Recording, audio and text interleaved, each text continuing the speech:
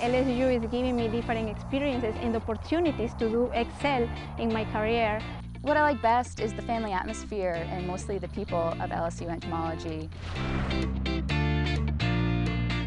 The Department of Entomology and the LSU College of Agriculture is educating graduate students who will help improve the quality of life through the study of insects.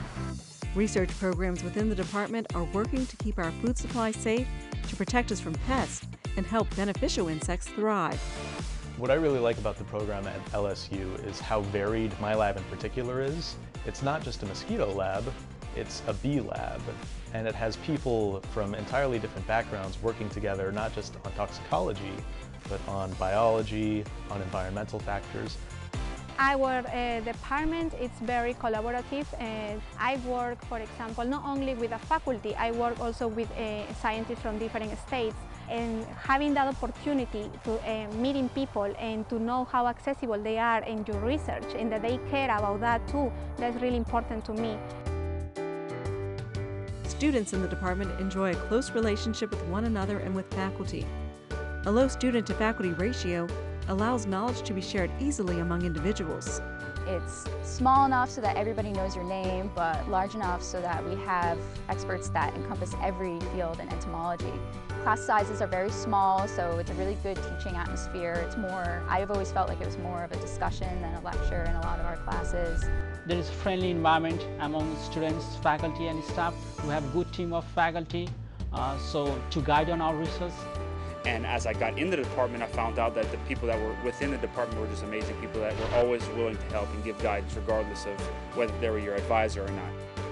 Entomology students can join the LSU Entomology Club, which allows members to participate in educational programs within the community and social activities. Students can also join the student chapter of the professional organization, the Entomological Society of America. That's a really great opportunity for entomology students to go and meet professionals in the field and go and present their data and it's really it's a it's a great professional atmosphere that really gets you kick-started into the field.